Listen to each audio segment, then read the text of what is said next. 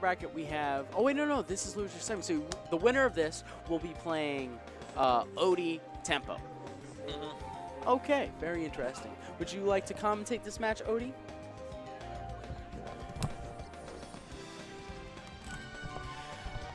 Yeah, the, uh, the people who win here will be playing you.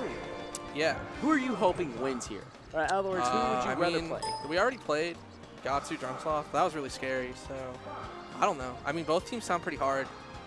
Fox Puff is like really good against Falco Peach, but like, and then like Falcon Icy are like really bad versus Falco Peach, but also one team is Gahtzu and Drunksloth, who are like really good, and then the other team's like Panda and Envy, who are like pretty good, you know?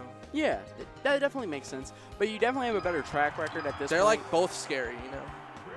So what you're telling me is you have two monsters under the bed and you can't pick between one. Yeah, yeah, yeah. Like, like we basically, like we almost lost our set versus red team pretty, pretty easily. Like, like if I got smash attacked by Jay like one more time, I probably, we probably would have lost that set. So like, Yeah, that last game so was crazy. So, so it wasn't like a very like definitive win. E- even though I think I, I'm the one, even though I think I killed Tempo in the end. yeah. What is happening? Anyway. So uh, we got going looking into this match now. Uh, Ooh, that's a good head guard setup. That was sick. That was amazing. I also like the way uh, Gahtzu and Jay play teams. It's really cool. Like the one v one situation. yeah, no, no, like the the way they the way they play actual doubles, like when, with each other, you know.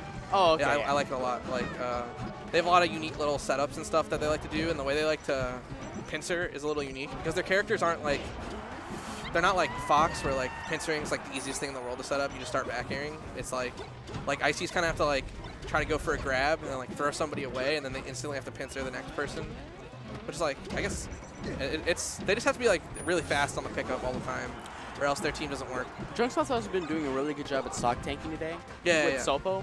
It, and like there have been many times, especially in that set against you, where Nana would just die, and I'd be doubting his Sopo. And No, then no, Jay Sopo will always pick up kills. Like, it, it, it's a Sopo, which is like worse than climbers, obviously. But like, yeah, you just can't sleep it's on. not. it. Yeah, yeah. Like, like he'll play it like the way Kuya plays doubles, where like you kind of just play near the corner. You kind of you like like you'll extend a little if you can see if you see an open hit or anything like that. But you just kind of play safely, and then like when you see an open hit, you just go for it. Try to combo with your teammate, or just try to get him off stage and go for like a gimp or something. Definitely.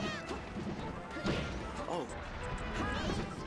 Panda's been rocking the race car tag. I like it. Uh, Red Team's been missing some. they've been missing some edge guards uh, that would really put them far ahead in the lead. But uh, they've been overall just keeping Yeah. a slight lead. Yeah, this game's basically even right now. Uh, okay. Yeah, okay, so this game's even. Drunksloth was a little bit late on trying to save his teammate.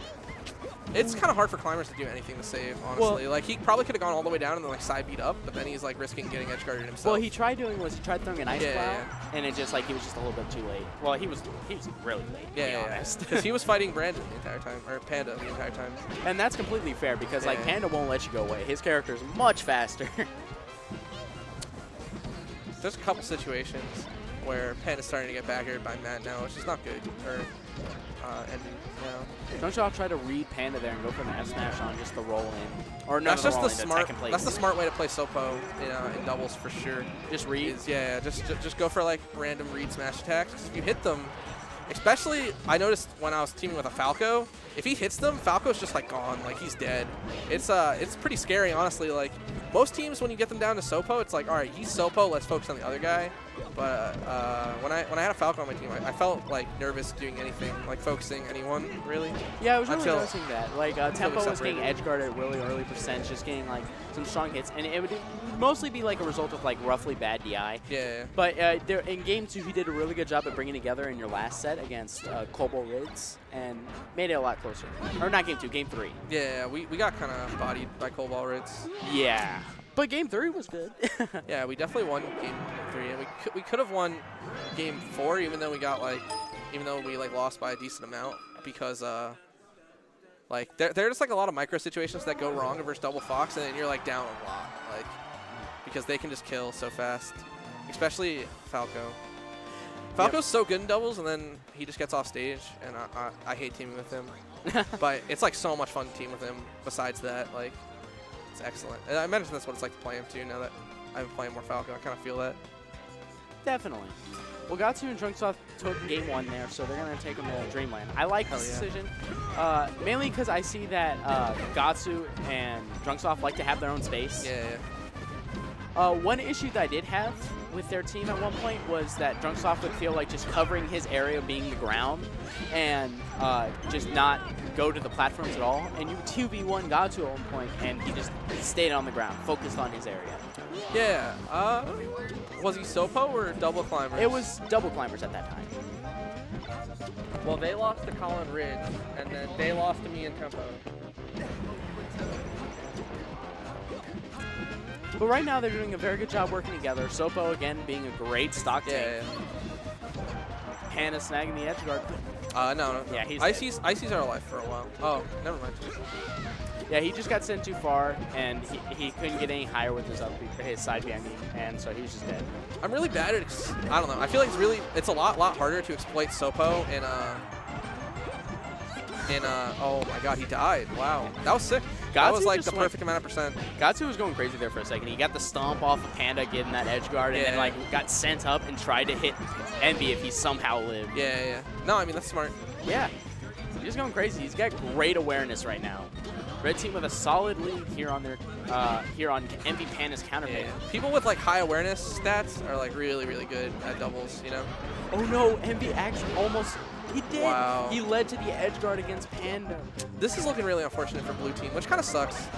So I feel like this shouldn't. I guess. I guess this isn't like the perfect matchup for them, but Fox Puff is definitely the better team in this situation. That was a really nice shine coming out from Panda just a second ago, like uh, get, capitalizing off of uh, Puff's back air or pound, I want to say. Uh, yeah, Panda's just doing a really good job at like covering edge guards where Envy can. Okay. And that's saying something that Envy's been laying really good edge guards today. Oh, that was sick. That was a sick. That was a sick ledge steal from your boy.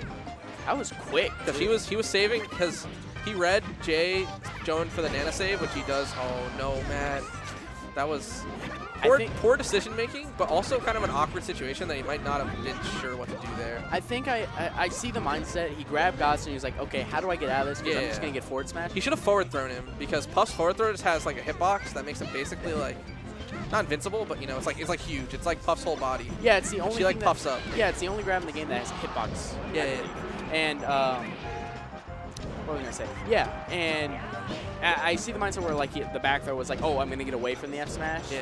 But it, yeah, if he had F smash or F thrown, I mean, uh, it would have uh, been a better option. Okay, so they should probably focus on Gahtzu, honestly. Yeah, They should they, they should hit Jay off stage as soon as possible, because then he has to side B, and then like he's stuck there for a while. You know, you can't you can't come back fast with uh, icy side B. Well, another option is if you just like Oh, yeah, Matt.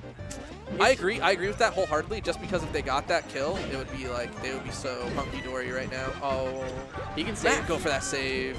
Oh, He, ah, he went for a back air, which was wrong, but also he missed, so it doesn't matter. Pound though, uh, another option. Oh, well, down air obviously, but pound. Yeah, no, no, no. But pound, Air. pound was the best option there. Yeah. Takes game. Wait, that's it? It's only a best of three. Oh yeah, it's semis. I, I thought loser semi still had the best of five. All right, well, Odie and Odie Tempo off to go play Gahtzu Drunks off. The, uh, this is mine. Uh, playing Gahtzu Drunks off, who they previously beat in winner side of bracket. Uh, good stuff again to Gahtzu Drunks off, taking that set against Envy Panda 2-0. They had some really nice combos there, and just were working solidly overall. Uh, blue team had some nice edge guards. Th- that was by far their best thing that match. They had some great team composition against the edge. Um, just some rough exchanges in neutral really led to like that match going the way it did. But now going into this match, like I said, the track record in this tournament has Odie tempo up a set. But as you heard Odie talk about it earlier, he's not too confident. It's, it's still very shaky. It's uh, it's gonna be rough no matter what. And all I know is they're gonna have to try real hard to make sure they keep this going. Winner of this will be playing Cobo Ritz in grand finals.